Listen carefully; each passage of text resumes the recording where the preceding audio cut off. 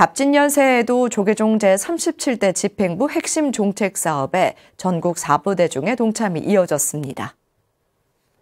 제주 법화사 주지 도성 스님이 어제 조계종 총무원장 진우 스님을 예방하고 천년을 세우다 불사기금 천만 원을 전달했습니다.